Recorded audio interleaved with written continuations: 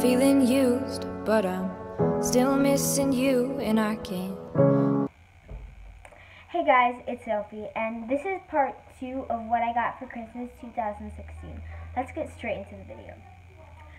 So the first thing I got was from my cousin, and I got that in a box, and she got me the iHome. So it's it's really cute. So so like you connect it to your phone and stuff, and it's just like this. I got two bath bombs from her. I got one from Lush. And I got this one.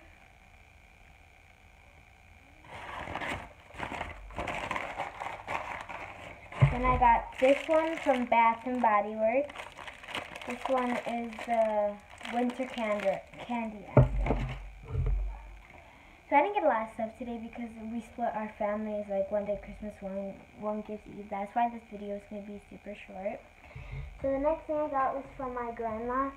She got me a cinema light up box. It looks way cuter, like, on, trust me.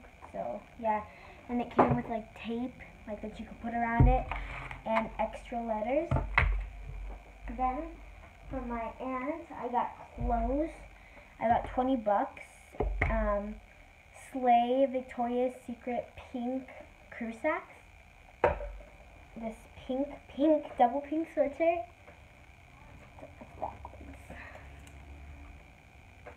And some DS pink sweatpants. I don't even know why it's so short. So, I hope you guys enjoyed the video. I hope you guys had a wonderful Christmas and got exactly what you wanted. And yeah. Bye. Like, comment, subscribe.